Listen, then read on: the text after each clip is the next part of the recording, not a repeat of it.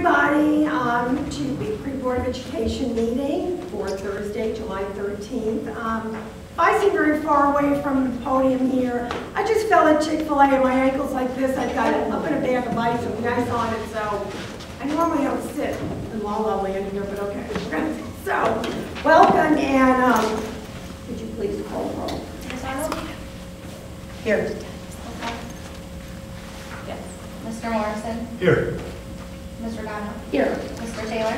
Here. Do you have a comment? Could you please stand for the pledge? Pledge allegiance to the flag of the United States of America and to the republic for which it stands, one nation, under God, indivisible, with liberty and justice for all.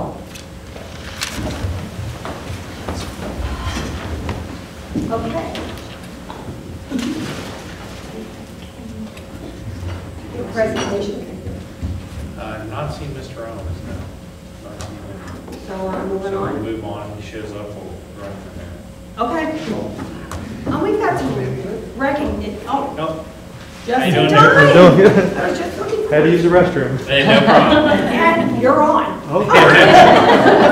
I'd like to introduce uh, Mr. Nick Owens. So uh, Nick is with the state board, and he wanted to come down and give, provide the board with an update, so we appreciate him giving him his time. It's a, not a short drive for him to get here, and we appreciate him coming out to do this, so thank you. Well, it's- definitely not a short drive. I, I live in Georgetown, which is the uh, county seat of Brown County. I'm originally from uh, Clermont County, grew up in the county seat of Batavia. So uh, is about 35 uh, minutes east of Cincinnati, and uh, Georgetown's about an hour east of Cincinnati. Uh, The claim to fame for Georgetown is uh, it's the boyhood home of Ulysses S. Grant. So uh, we take a lot of pride in that. We have uh, annual grant days and and things like that. So it, it's a drive, but I'm very familiar with this area. I just ate at City Barbecue. Um, that's one of my favorite eateries. But uh, coincidentally, it was one of my favorite eateries in, in law school. I, I rushed through my dinner to make it here use restroom. and but me and my good friend from law school, who lived in Fairborn at the time, every time we'd have a huge study session, we'd either go to Chick-fil-A, uh, you had to be on a budget, but it- Chick-fil-A, uh, City Barbecue, then we sometimes get Graeter's Ice Cream. So it's like, you know, that, that was sad to say that, you know, eating food was your highlight in law school. Uh, but I, I went to University of Dayton School of Law uh, back in May of 2010. I graduated in May of 2012. They have an accelerated program. It's uh, really beneficial. It's beneficial for people like me to get back in the workforce. Before that, I uh, graduated from the University of Cincinnati in 2005 with a degree in finance and real estate. Worked for about five years for our local area member of Congress, is no longer in office, uh, both in her Cincinnati office, and I worked for about a little over two years in Washington. Uh, And so my, uh, I didn't do that. Uh, my day job, I'm, a, I'm an assistant prosecutor in Brown County. Uh, have been a prosecutor for almost five years now. So I, I see, you know, I, I like to bring the perspective of that on the State Board of Education is I get to see uh, the unfortunate end products a lot of times of when we don't uh, spend enough time with kids or kids are not given the resources to succeed or most importantly, schools aren't given the resources to succeed. So uh, I very much, uh, I have a colleague on the State Board of Education uh, by the name of Meryl Johnson. and She's from um, inner city Cleveland, was a teacher for 40 years there, and she talks a lot about uh, trauma issues and, and things such as, you know, kids don't want to come to school because they don't have clean clothes. And I, uh, I completely agree with Meryl, and I tell Merle, I said, um, what we face in rural Ohio is no different than what is faced in urban Ohio. So uh, we like to think uh, that we're doing, making a big difference on the State Board of Education. For those, I didn't really know much about the State Board of Education a while ago, uh, certainly I do now. But for uh, those who are unfamiliar with the State Board of Education, it is made of 19 members. 11 are elected from districts. The districts are a little over a million persons. Uh, Three state senate districts, nine house seats. I have, excuse me, I have 17 counties. Of course, here in Greene County. And then, so 17 counties have 15 whole counties and two partial counties. Of the uh, 19, eight are appointed by the governor. Half the appointment, half the appointed seats, half the elect- elected seats are up at one time, so it's uh, 10, now- 10 one year, or 10 two years and nine two years later, or vice versa. So we uh, have 10 new members on the State Board of Education this year, five elected members and five appointed members. One of the common things I was uh, frustrated when I was reading about the State Board of Education before I got on was that the dysfunction within the board. And that was one thing that I truly wanted to strive to break down barriers and to work with everyone. Uh, I was very disappointed, and I'm sure you guys have read it in the Daily News. Um, there was always there always seems to be some sort of consternation about things, and I never understood why. And since we got, and since new membership of the board, we've been able to work more collaboratively. I like to think um, we don't have party lines on the state board. I was just talking about uh, one of my colleagues. She's as much Democrat as I am a Republican. But when it comes to kids, doing, doing what's right is in the Republican or Democratic thing. A kid coming to school, um, having experienced horrible trauma at home, or a kid looking for a teacher's helping hand, uh, that isn't a party issue. So that's a little bit of a background on things. I want to just talk on some, uh, some highlights of what's going on in the State Board of Education. Each time I go to a uh, local board meeting, and you guys have a beautiful facility, not everybody has a facility like this. Uh, Some, I've seen a few better, but this is probably one of the best. Uh, But what I like to do is, uh, I'll give you some of the three or four issues that we're facing right now. And then if anybody has any questions, I brought plenty of business cards. Uh, I'm an open book. My business cards have my email address, my cell phone number. You can find those both on the State Board of Education's website. I always like to say, you think of your State Board of Education member, which is a rare thing, but if you were to think of your State Board of Education member, please reach out, please uh, contact me, because if, it- if you really went to those lengths to think of me, then it's important, and I, and I want to know about it. So some of the, a few things that we're doing at the State Board of Education level and working in conjunction with the legislature is as many of you guys already know, and certainly your treasurer knows, uh, we just finished the uh, state budget process. The uh, budget was signed into law on June 30th, and as many of you also know, it's just not about spending the two years' worth of state budget money and school funding and things like there, like that. A lot of policy proposals come out as well. One of the things that uh, hopefully you guys don't have to experience so much, but is the class of 2018, as we know, will be under new graduation requirements.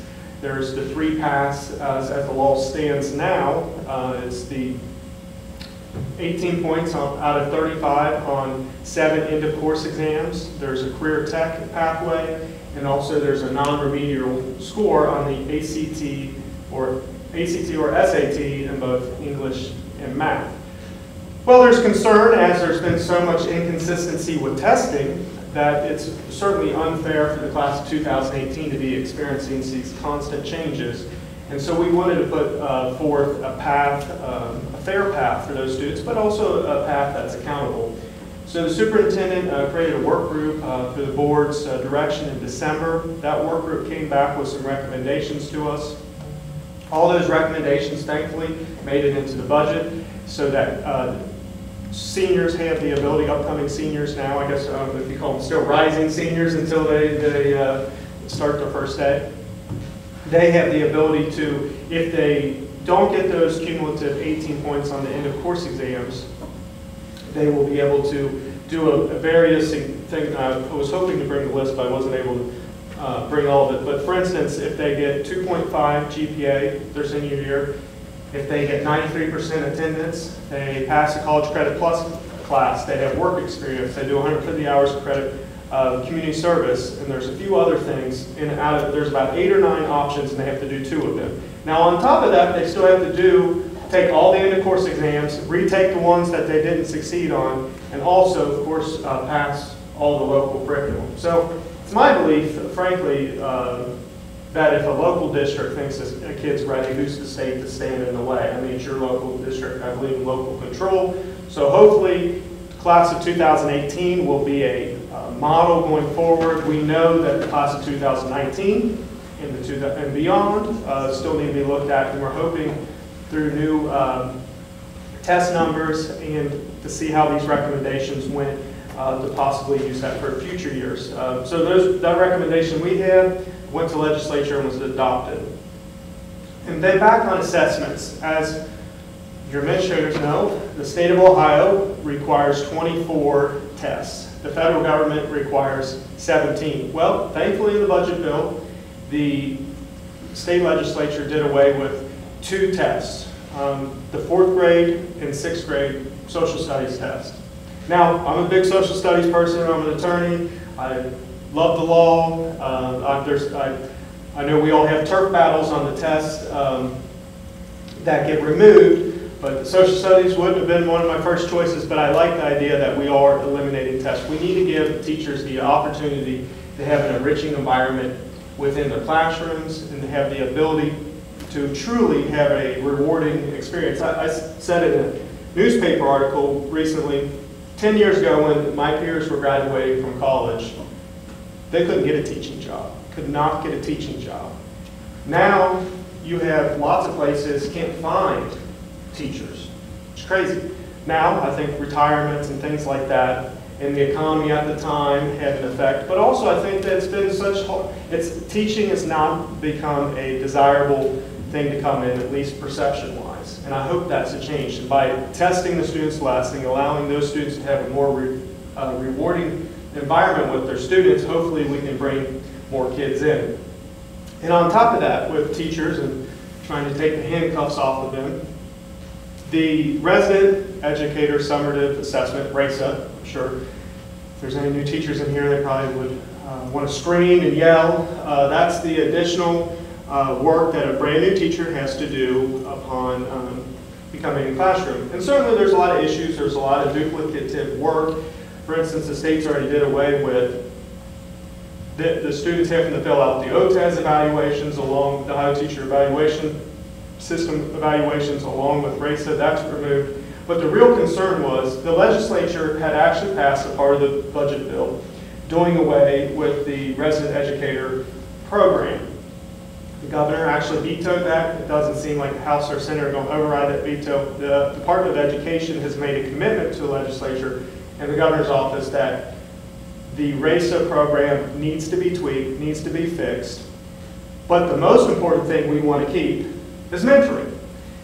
The last thing we want is uh, students or teachers be thrown into an environment that they're excited, and couldn't wait to start. And they get a whole bunch of misfits in their classroom are hard to handle at first, and now they start to hate the profession, and that's the last thing we want to do. Now I'm assuming, maybe a big assumption, but I'm assuming places like Beavercreek have a heck of a mentoring program, and it's not an issue here. But that's where it becomes an issue is in some of my smaller districts and some of, and, and lots of rural Ohio, because unfortunately budget cuts happen, and sometimes those are the first things to go. So we're hopeful that we can get away, uh, do away with all the duplicative paperwork, the busy work, but also keep the mentoring for those new teachers.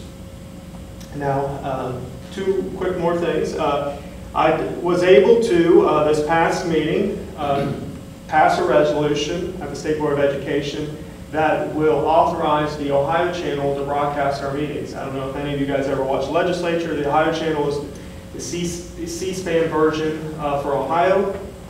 Now, I don't expect to uh, break viewing records by watching State Board of Education meetings, but to, what, to, to know what's going on in the State Board of Education, 1.7 million students, uh, nearly 12, Ohio, 12 million Ohioans, yet employ a lobbyist or drive two hours to the meetings.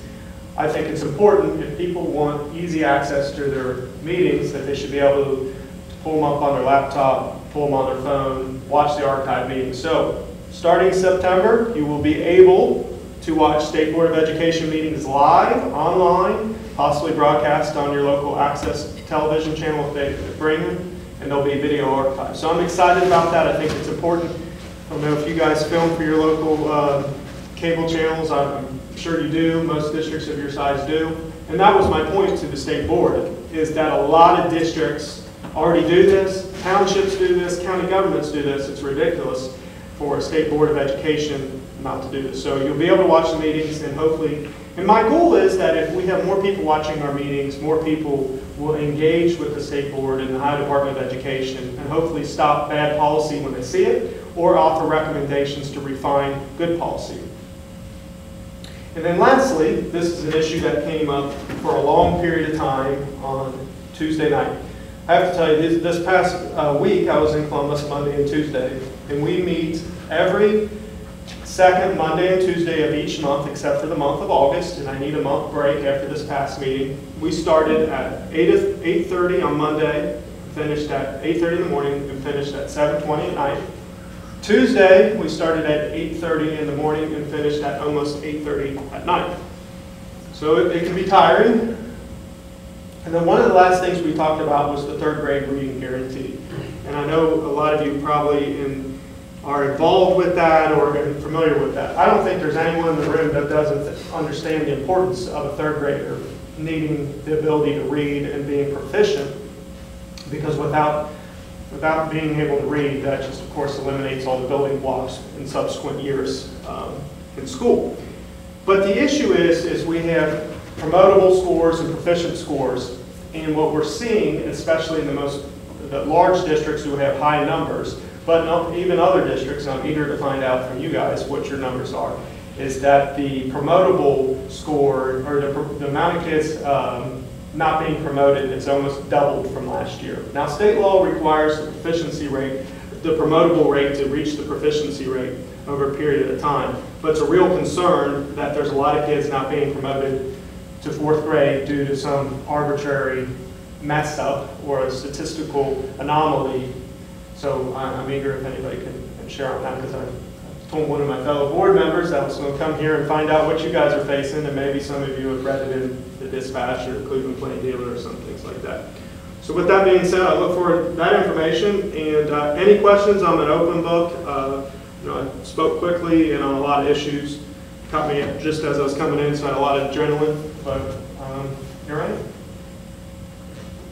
Yes. Mr. Holmes, first of all, thank you for coming and appreciate you giving us an update on the state budget, graduation assessment, uh, third grade reading guarantee. One question I have regards uh, ECOT, the Educational Classroom of Tomorrow. Uh, They have been reporting, especially in year 15, 16, incorrect enrollment numbers to the tune of $60 million. And right now, it's being proposed that uh, 2.5 million be deducted from the state foundation dollars that they'll be receiving. ECOT has said if they do that, then they'll have to probably close. Could you kind of give an update on on Yeah, that situation? um, I, I, I have some strong views on this. Uh, well, first of all, I'm a public school person. I believe in public schools. I'm a champion for public schools. I think public schools are our beacons of our communities. I mean, for instance, uh, you guys are closer to the major city, just, just like the, the ring suburban cities, or ring suburban school districts. However, as you go further east from here, or go in other rural parts of Ohio, that, that school district, that school is truly the center of activity for that town. I mean, as we all know, when certain teams go to state championship games, everyone's houses better be locked up uh, twice as much because everyone knows no one's home. So, with all that being said, I, can, I am fully supportive of public education, K through 12, at Batavia, growing up. Now, I'm also for choice. I, I benefited from choice as a junior and senior uh, high school student through the post-secondary enrollment option program, now College Credit Plus. So I think kids should have the ability to have choice in all different fashions. However, school districts uh, and additionally charter schools, community schools that take public tax dollars must be accountable for those. I don't think it's right that a school district who gets traditional state share index tax dollars has to have all these strings on their money, and rightfully so, but a unelected governing board of a charter school does not have to follow those same gui- guidelines. Again, I believe in choice, but it has to be accountable choice. It's got to be transparent choice. So with regards to the ECOT, since we, I don't know if any of you read the Columbus Dispatch or saw the, the above the fold story, uh, ECOT loses three court cases in a matter of two hours. One of those was a personal uh, suit against the State Board of Education for what they said was violations of the open meetings law, which was a complete hoax. First of all, uh, as the court decision, and as attorney, I can speak with this a little bit more fluently, as the court decision said in the Franklin County Common Pleas Court, we were acting in a quasi-judicial setting, so the public meetings requirements didn't even apply to us. But even if they did in that case, we did nothing improper. It was a completely litigious group. I never thought when I went to the State Board of Education that a few days after taking one of the uh, biggest votes I ever took on the State Board of Education, hopefully we'll have some more important ones that doesn't have to do with things like this, that it had to be chased by a process server trying to uh, issue me a subpoena, being sued and having to turn things over. The board voted, it was 16 to 1, one abstention um, to make ECOT pay that $60 million back, and the one person who voted no frankly messed up and meant to vote yes. That person was one of the most um, and, and, and, private, one of the most frustrated people with ECOT. She actually wanted more money from ECOT and they got confused on the voting. So we, we voted pretty much unanimously with them paying it back. So we will see. I- I'm not here to put any online school out. I'm not uh, out of business. I'm not here to put ECOT out of business. But what I am here is for transparency and accountability. And I, I'm very satisfied um, that the courts have agreed with the board, the board has agreed with the courts, and that that process of recoupment will start this month. Uh, They do have a two-year period, and how it works mechanically is they get all this state uh, funding, just like Beavercreek would, but instead of getting, for instance, I'm just throwing a number out there, $10 million a month, which they normally would, they'll get 7.5 million. So they say they're paying it back, they're just not getting as much money in their future payments. So yes, they're, they are paying it back, uh, but they're not truly paying it back. It's just less money that they're getting for their school. So I don't know if that was a long enough winded answer for you. I'd like to talk about test, oh, I'm sorry, you No, finished? no, that's fine. I'd like to ask you about testing. Yeah, So you said that the state is 24 tests, the federal is 17, but two have been taken away, so there's still 39 tests. no, no, no. Is that what So you're it's, saying? uh, no, That's what- 24 overall tests the state requires, which includes the federal government tests. Okay, I didn't know if And, and of that 24, 17 are embedded in that. Okay. And actually, we're down to 22. Now, we did um, have an interesting speaker say, she actually, uh, this past week, that she believes we have 23 tests because all the juniors are mandated to take the ACT or SAT. However, I might not get all agreements in here, I think that's the greatest thing in the world for this reason. It's paid for, and a kid who might not otherwise think he's college material is forced to sit in that room, and you never know, he might pop a 26 or a 27, and that test, sitting for those three hours has changed his life forever. And I say that because I'm a first-generation college graduate. One of the biggest barriers for me just to go to law school was the thought of taking the LSAT.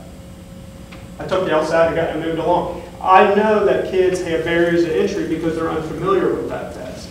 And to think that the state paying for a test and having a kid sit in that seat could truly change their life because when you go, when you come from a perspective of a first generation college graduate, your parents want the best for you, but they can't help you with where to sign up to classes. They can't help with you where to take a prep class. They can't help you to know that you better uh, time yourself on that test. But what that test by the state mandating that puts a kid in that situation. So I want that test instead because I think it's an opportunity test. So we're down to 22. We do hope to recommend further to the legislature. I, am a big believer in taking the level of testing down as far as we can go. I think, I, I think frankly that too much testing, I see this the pendulum. The pendulum has swung completely to the too much testing thing. And my thing is, let's swing, I, I don't like to swing it all the way back. I think I'd rather find that sweet spot middle. But I, I say, let's have less testing, let's see it works out. And, uh, and I'm confident that local districts will, will provide education to kids and that we don't need the state with a thumb on them to always force them uh, to find some efficiency level. I must say with this, with, with assessments, and I've said this in a, a, a few articles as well, is a teacher is a lot of times judged on their growth. So if a kid goes from a C plus, let's, let's see, if a kid goes from a uh, D minus to a D plus, or a D minus to a C minus, that's not much growth. Uh, The state's gonna say that's, that's not much growth. Well, but what the state does not know when they get those teacher evaluations, does the kid come in drug-free? Does the kid come in with a smile on his face? Does the kid come up and look? Is the kid wanting to go to uh, school next year? Is the kid staying away from the bad kids? Does that kid see opportunity in himself for the future? We don't test that. Because that's not something, we don't assess that, we don't judge that with teachers, because that's something that's not easily accessible. But just because it's not easily accessible doesn't mean we shouldn't try to do it. And so that's my push, is, you know, there's, there's a lot of things in this world, whether you're going to college or you're going to a career, there's a lot more things about succeeding in life than making sure you pass, get 18 points out of 35 on any course exam. Now, I understand there's some people even that live in this area that don't think that's a good idea. But I'm a big believer that a kid uh, needs, that a kid or a a future adult needs those, knows up when to show up on time, get out of bed at a normal time, uh, open a door for someone, have a smile on their face, want to learn, want to work hard. That's what makes people great, not whether or not they get an important score on a test. I would really like to thank you for coming, even though you've already been thanked by two of my esteemed colleagues. This is my 14th year on the school board. Um, I have seen just such a great disconnect between, well, there's no connect between the state school board and, and the actual school boards, you know, out in the districts. And I think it's a really good thing to come and um, meet the people that are here. In the, in the time that I've been on the board here in this district, we saw one other state representative that came when our football field, remember when we opened the, the new field? They came and gave an award to us for, not for the field, but, you know, for something, uh, just out of the blue, didn't come to the meeting or anything, but I, I think it's important. I, I, I do too. I was telling uh, your superintendent's uh, secretary that she said, we'll get you up to schedule at the beginning. I said, "It- it's okay. I, I like being at the beginning, but I want to hear what's going on and I plan to stay. And I want to know about what's going on with school buses. I want to know what's going on with your cafeteria employees. I want to know what's going on with your curriculum choices. It gives me a, a real understanding and it's my, been my goal, although I found that summer months are a little harder. And, uh, and but it's my goal to visit about three to five local boards a month. And of course, I've cherry picked some of my local ones because I just uh, uh, drive quickly there.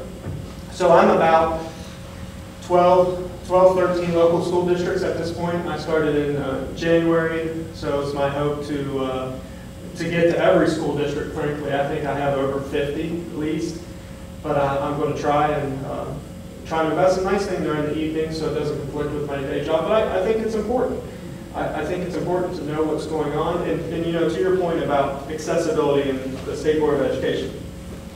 I don't want to ask anybody to raise their hands, but there's probably at least half a dozen people in here that didn't even know what a State Board of Education was before we even had such a thing. And I think that's frankly not broadcasting your meetings, not having people reach out. And so I, I think one of the dynamics of that is, is we are a hybrid board. I wish we were an all-elected board. Of course, I'm biased, I'm an elected member. But I think when you have eight appointees by the governor with no constituency other than maybe one person, and that's the sitting governor at the time, that there's not as much, and you can see it in the conversation at the board meetings.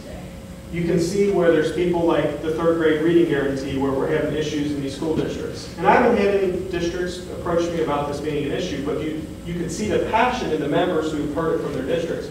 And then, but you can see the appointed members like, oh, we care, but, like, they just don't, I, I think you're invested more when you have to, and, uh, want to politely tell my fellow members at times, the appointed ones, to say, go visit. Go, go talk to people, because you're going to have a different perspective. We appreciate it, Nick. Any audience, I- any audience, I'm, uh, just because you're not a board member, anybody else, I'm here, I'll be staying around. Don't be shy, yeah. I was just gonna say, I met you at the Summer Leadership Academy Yeah, yeah, uh, yeah, yeah. That was a good time. In Columbus. There were three board members there, and they were so open and so honest, and you took lots of questions.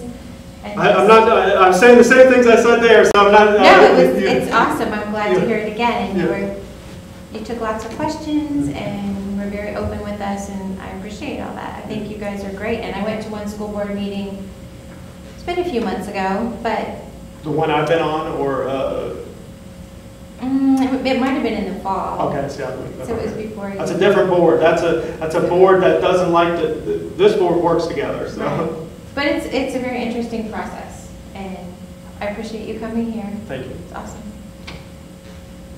Great. Well, thanks so much, and I Appreciate you coming. Thank you.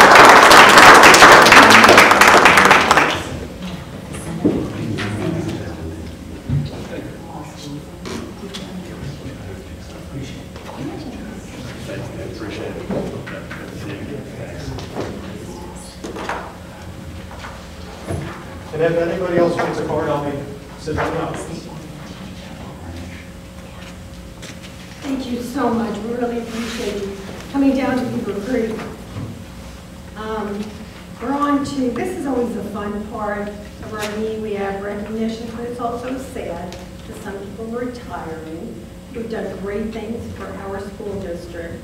Now, I feel that the teachers of this district, we are, you just need to know, we are Beaver Creek. I mean, we are an amazing school district, and, um, is Connie going first? Yeah, we'll, Okay. we'll go ahead and have Connie come up. I'd like to read, um, I I did a merger here of uh, the resolution, so the board's actually accepting a resolution on these two individuals. So I'd like to just read uh, what the resolution says. Again, it's a merger, so I'm putting two together. So uh, it says, "At the meeting of the Beavercreek Board of Education held on July 13, 2017, the following resolution was adopted. Whereas the Beavercreek Board of Education has received notification of the retirement of Donna Lucas and Bill Sorensen, whereas the Board of Education wishes to publicly recognize and commend both of these individuals for their outstanding contributions during their dedicated service to the Beavercreek schools. And Donna has worked 27 years and Bill has done 19 years. Whereas through their efforts, the quality of support rendered uh, the district, students, staff, and administration, and the performance of the school's missions has been greatly enhanced. And whereas Mrs. Lucas and Miss- Mr. Sorensen leave an outstanding professional and personal record, which will serve as an exemplary model for all that follow. And whereas their presence, influence, and contribution have helped to make our schools a better place, therefore be it resolved that the Beavercreek Board of Education does hereby accept with regret the retirement resignation of Donna Lucas and William Sorensen and does publicly express to them its sincere appreciation for their outstanding career in our schools and wish them health, happiness, and a long, active, and contented retirement. Amen.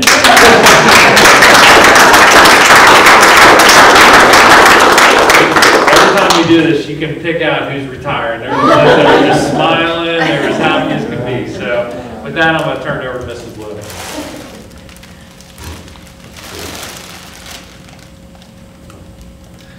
Well, it truly is a pleasure to be here this evening to honor Donna Lucas uh, and congratulate her on her 27 years of wonderful, wonderful service to our students here in Beavercreek and providing them with healthy, nutritious school meals. Um, In 27 years, that's a lot of school lunch, so. Um, During her time here, um, Donna has worked at Ferguson Middle School, and uh, she was uh, assistant manager. She has also worked at Beavercreek High School, and she's been our satellite manager at Main Elementary for, oh gosh, the last, I'd say, pretty much the, the the entire time of, of, of- your career here in, in Beavercreek. So She's provided leadership to her team at all levels, and I can't begin to tell you how important that is. Uh, It provides uh, mentorship to all of our new staff, and when you provide your experience to all of our new staff, that is the most valuable uh, leadership tool that anybody can provide. And I thank you for, for doing that over the years. So, um, You've just been a real asset to the department, and, and uh, whenever I've called upon you, you've always been there to serve. So uh, you have followed through with all of our wonderful uh, nutrition education projects and made sure that uh, all the students are receiving uh, the nutritious meals that they deserve to, to be successful in school. Because that's what we're here for, is to be that support. Because we all know that a hungry child cannot learn. And that is so, so vital to their learning, is that they have the right nutrition so that they can tackle the day's uh, assignments and so forth. Um, During the past 27 years, Donna has seen a lot of changes. We used to have tickets. Now we have these fancy computer point-of-sale systems. And uh, um, you've seen a lot of renovations of kitchens over the years. Uh, Beavercreek High School was a huge one back in the day.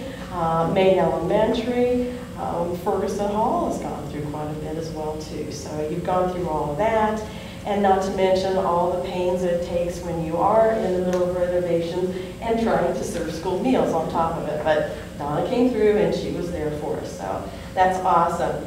Um, Donna Lucas was also recognized by the School Nutrition Association of Ohio with her Buckeye Service Award for 25 years of service uh, to, uh, children and to the child nutrition um, career that she has led. So I wanted to say thank you so much on behalf of Beavercreek City Schools Student Nutrition Department and all the students that you have served. Thank you so very much. Uh, You have a wonderful, well-deserved retirement.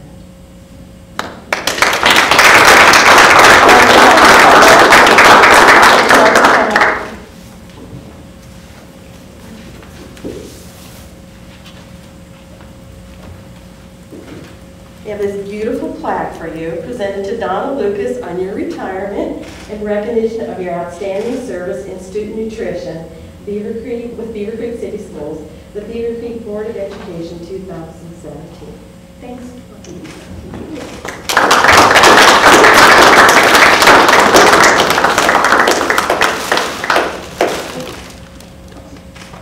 I'm gonna miss you. We'll get you Thank you all stuff. very We'll much. get you back stuff.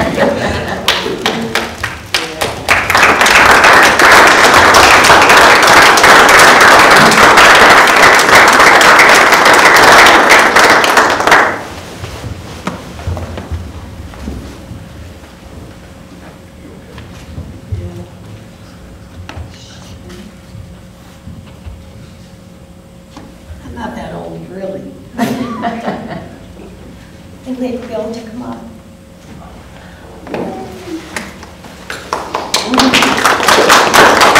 But you know, this is a real honor for me to be able to do this tonight. Sue Peebler couldn't be here, but I am just honored to be able to do Fantastic, this. fantastic. So I want to read what she sent. Sure. So sit back, this is fabulous. Don't go far. Bill Sorensen has taught fourth and fifth grades over his years at Shaw and has made lasting marks among his students, their families, and his colleagues. When asked what they remember most about Bill, several staff members shared these memories. He reminded us often of being the token male and always kept us thinking with his thought-provoking questions. Even though he was always the last know things in fourth grade, he went along with everything and meshed well with our team. I loved the energy he brought into the classroom and team, except, of course, when he would boast about the Patriots and another win they received by cheating. I mean, playing hard. It's got you. Bill led our technology team for a number of years and supported staff members as a grade level representative on our school faculty council. He invited our classes to his room to allow students to share new learning, especially in the science area.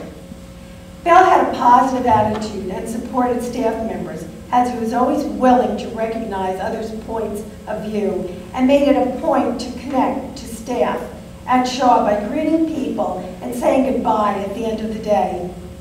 He was a good sport, as he was so outnumbered by his female coworkers. Since he worked with all women on his team, he learned to say, whatever you guys want. Good move. Sure. He also was very good at sitting through lunch with us, no matter what the conversation was. Bill served in the United States Air Force and helped students understand the importance of being patriotic.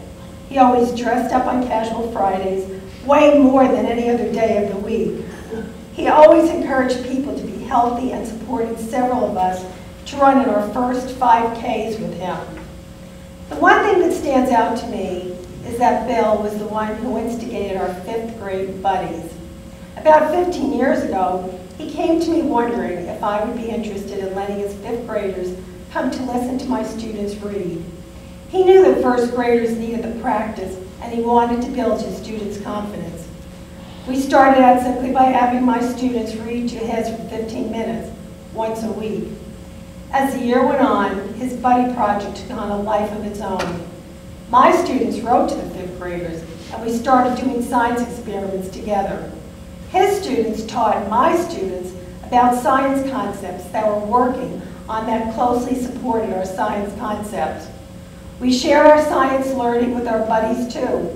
They would come down when the eggs hatched, when we made ice cream, for motion experiments, and lots of other things.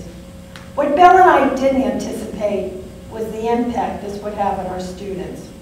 My first graders idolized the fifth graders. When we would pass them in the hall, the faces of both classes lit up with joy. They were rock stars to my students.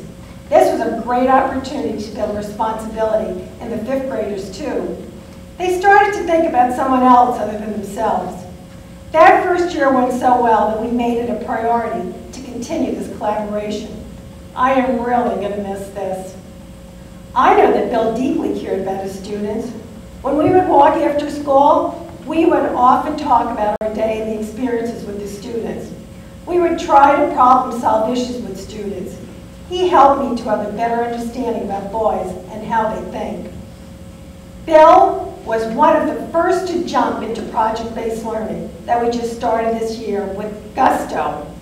He brought in an electrician to help students learn, then coached them through the project where they created some pretty fantastic displays for the public audience. He got so excited about what this learning would bring to the students while he was planning and bounced ideas off of others often. Then as the students were finishing their projects, he encouraged teachers to bring their students through for students to explain their learning. Bill's energy and enthusiasm for student learning will be missed. We will miss his straightforward, helpful questions during staff meetings and his willingness to try all of the crazy ideas that all of us women at Shaw ask him to. Thank you, Bill, for being the token male for us last year.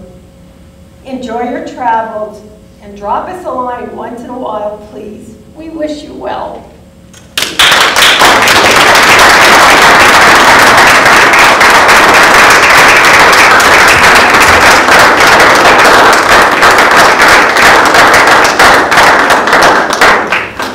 What a beautiful thing that they wrote about you, oh my gosh.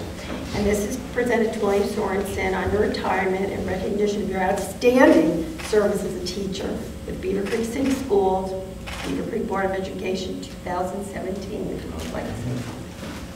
Thank you.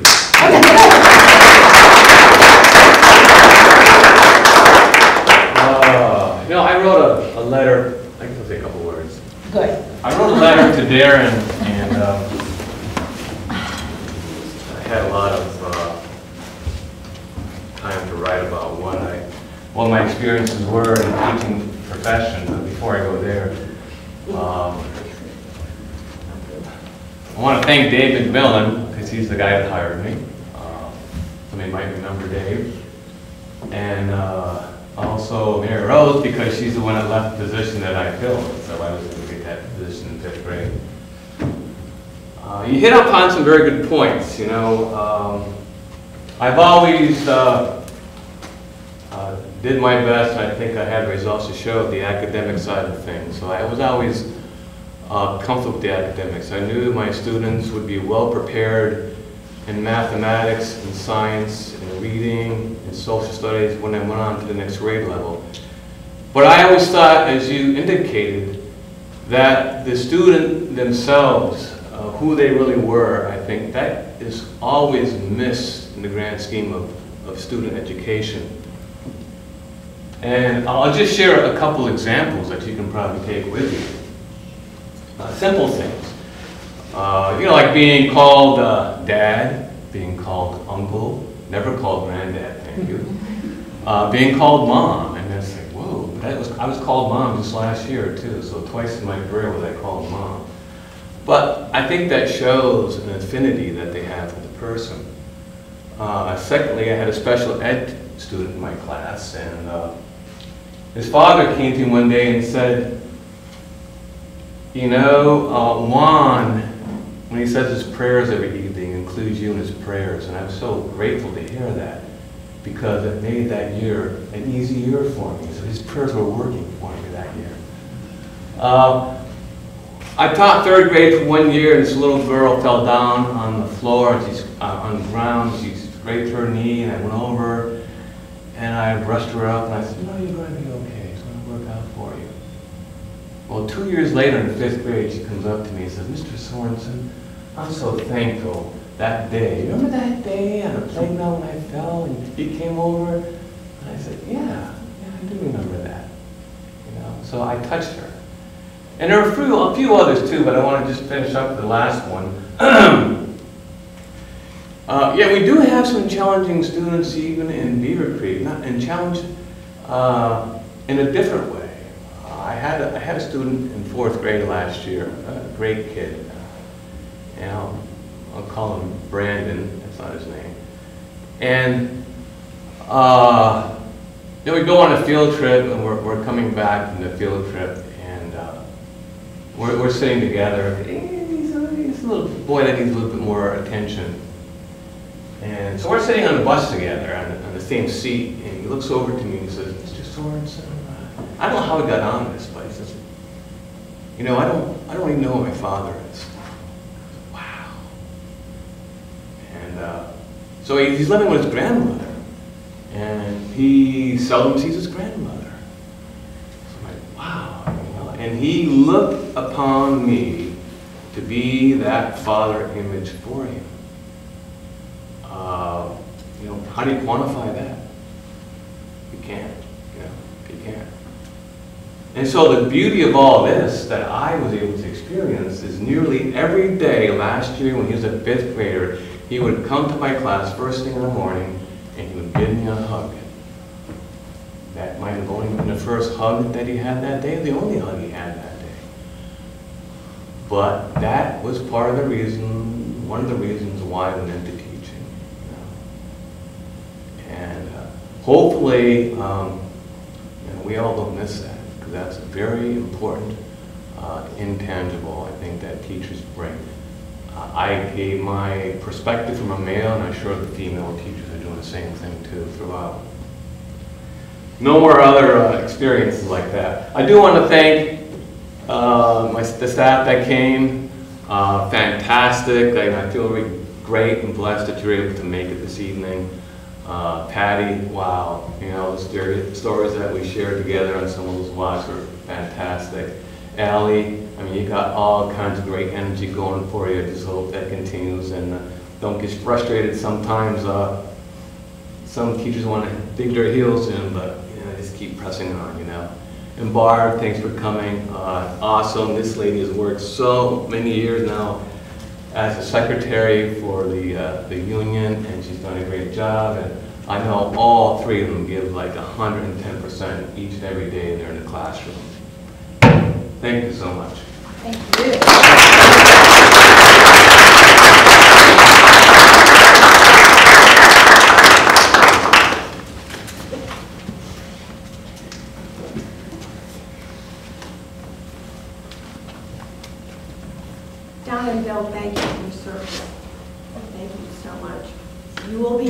All of you.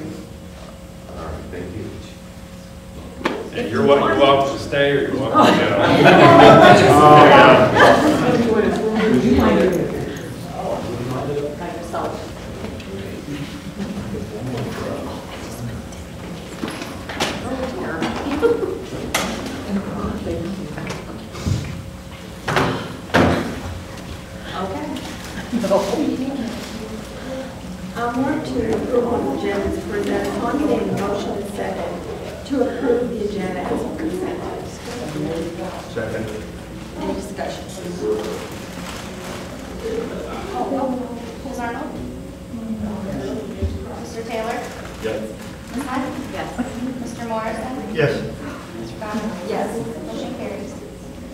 I don't any board reports tonight, so we're going, we have no questions or comments from the public. So we're down to the approval of the minutes held, so I'm going to need a motion and a second to approve the minutes of the June 15, 2017 regular board meeting. So moved. Second? Second. Any discussion? Please call the vote. Mr. Morrison? Yes. Ms. Arnold? Yes. Ms. Hunt? Abstain due to absence.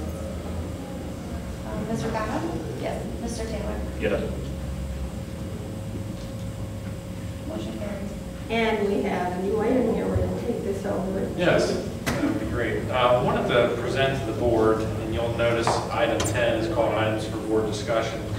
One of the, I've been in conversation uh, with Mrs. Rigano over the past few months on this, and what I'd like to do is I'd like to add this onto the agenda, and want to tell you a little reason why I would like to add this to the agenda.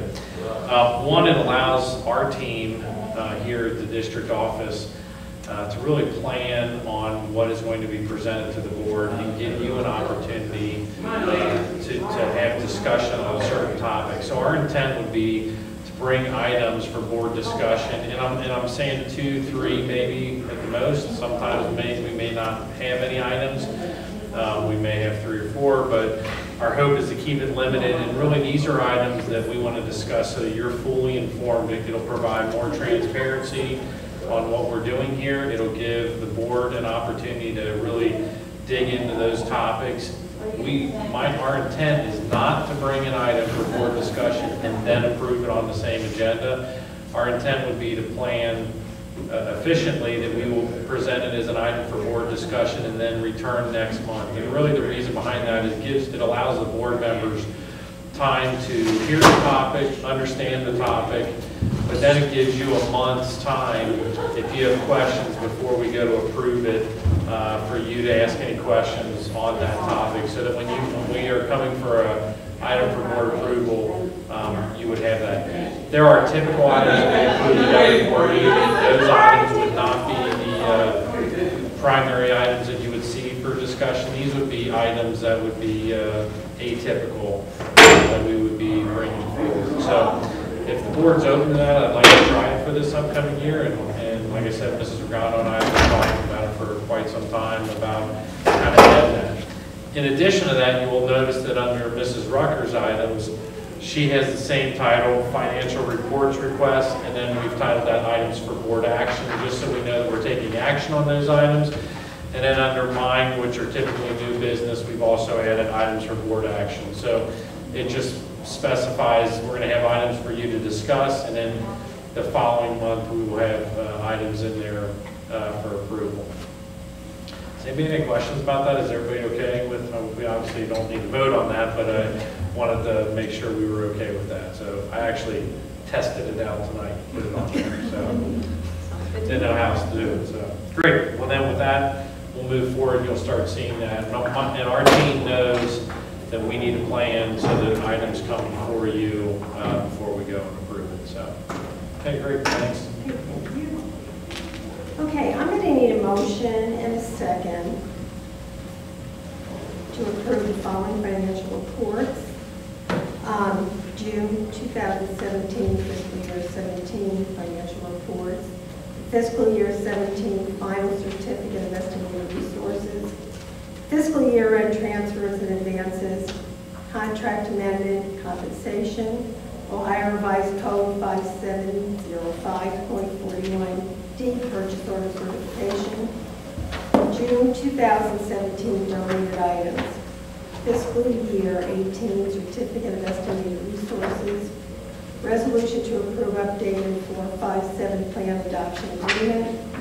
Resolution to approve new administrative pay periods. And the approval of resolution declaring intent to proceed with election of the question of substitution of an emergency tax levy.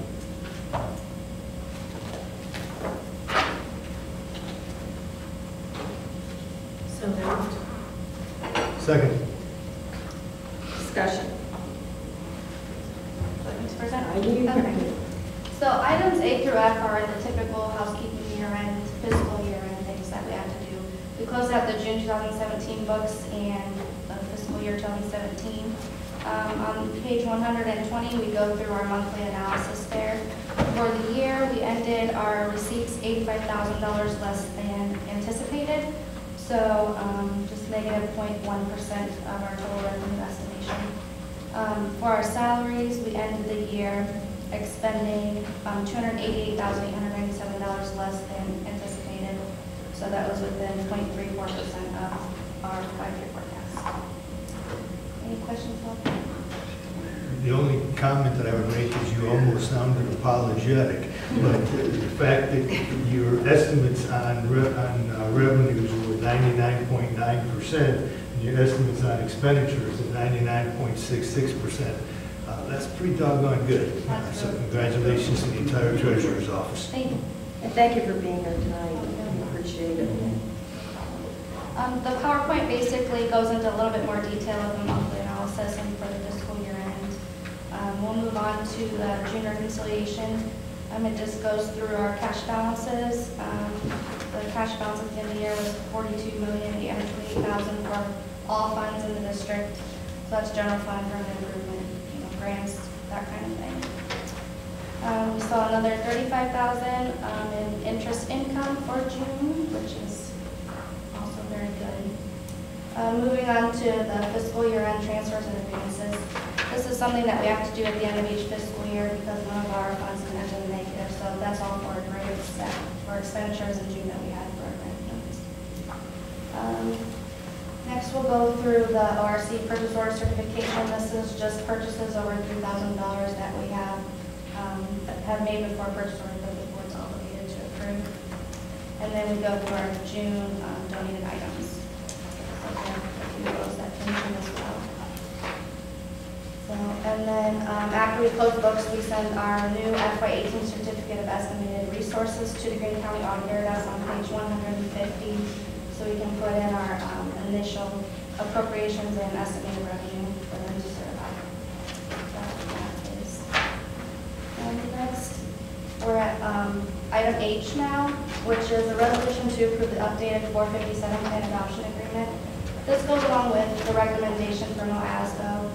Um, Currently, it's just with Voya, so Voya is the only provider that can offer a 457 plan. They're adding AXA Equitable as a provider, so as a district, we're going to include them as well for more options for the um, employees.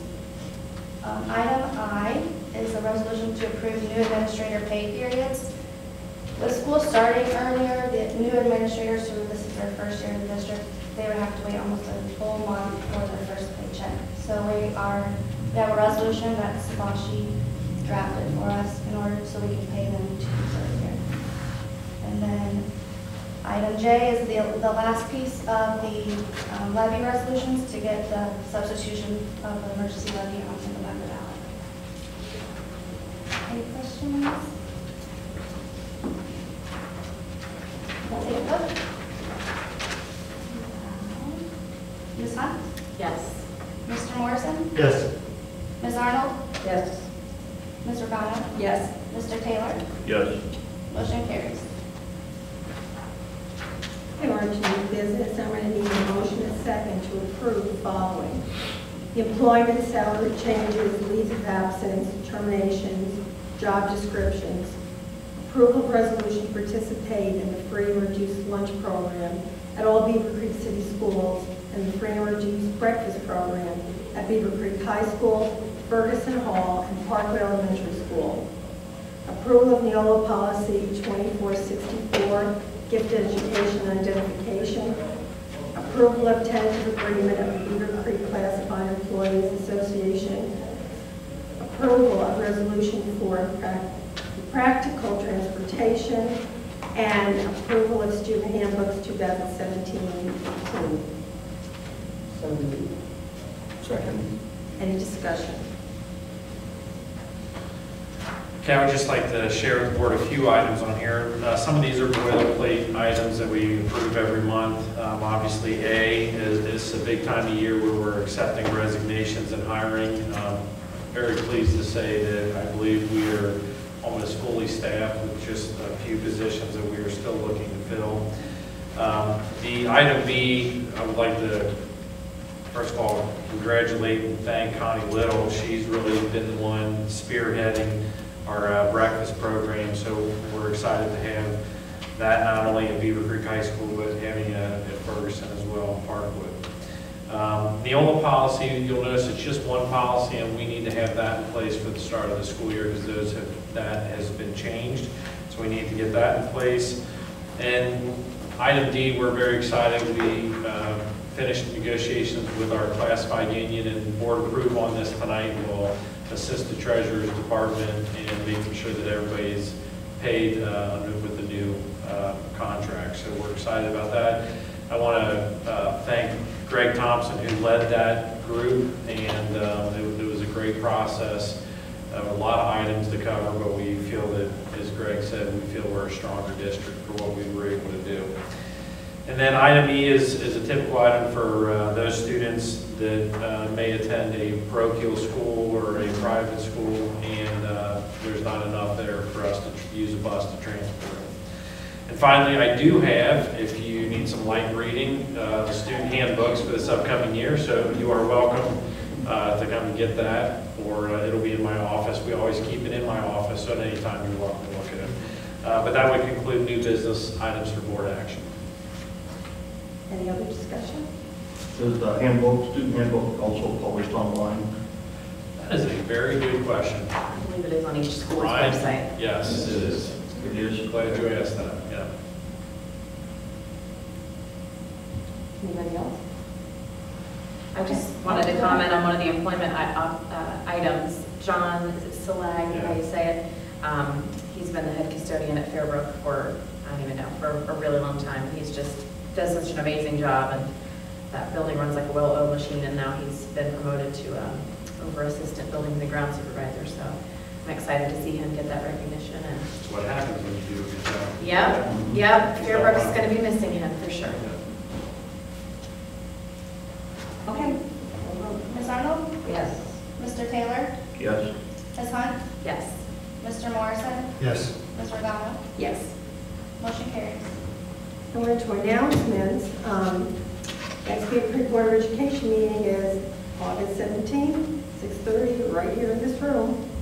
And um, first day of school for 2017-18 school year is August 16th, that's a Wednesday. Wow, it's hard to, I know, it's hard to believe that. Summer's almost gone, we're halfway through July, it's like, okay. Um, And we're into board comments, we're going to start, Mrs. Arnold. Um, I've just been vacationing my heart out this year. I mean, between the Caribbean and I- my uh, 12 days in New Jersey. um, That's not on Facebook, in the ocean? Floating around in the ocean and visiting Long Beach Island. And I actually caught up with um, some cousins that I haven't seen in 50 years. What a- my We gosh. had a great reunion, and we have put in place, we're going to literally have a reunion next year on. Oh, that's nice. for That's a couple tradition to days, start. and, Yeah, mhm. crazy not to see. True. My, my dad died when I was 10, and these are the relatives from his side, so kind of lost Touch. you know, some touch there, but uh, happy to be back and happy to be looking forward to a wonderful school year then here. That's hard to believe, right? It's very. It's going by hard to faster and but it faster. Buzzes by. The longer you're on the board, the faster the sun goes. You have to go on vacation early. Okay. Get it over. Yeah. Okay, Mr. Taylor. Okay, uh, a couple things. One, of course, retirement's always uh, remind me that uh, we we stand on the shoulders of giants. of the people who've come before us that have paved the way uh, and led the way to make, in our case, Beavercreek what it is today. It's so exciting. Uh, And uh, Mr. Sorensen, of course, and I taught together uh, at Shaw School uh, for many years. And uh, it turns out he and I have the same birthday, about a decade apart. He's obviously much older. It's too many left. Who would have, known? Who would have known? Uh, And also, uh, Mr. Owens, of course, it it reminds me uh, that, uh, just uh, one example, of course, televising uh, the meetings of the board, uh, is that,